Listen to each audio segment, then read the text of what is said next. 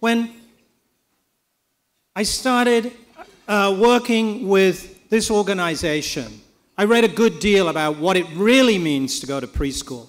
The numbers, the data is so compelling. The children who are disruptive, who don't fit in in high school, they're not just hurting themselves, they're hurting everyone in the classroom.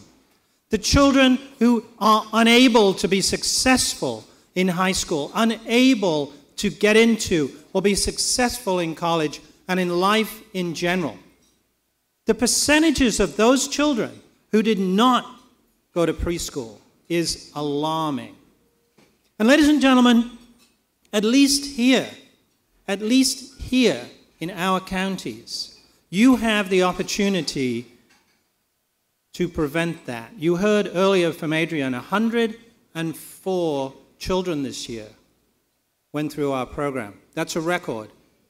But what you didn't know is that we had 180 applicants. A lot of children didn't get in. Why? Because we didn't have that one thing that I told you earlier we need. It's only money. It's only money.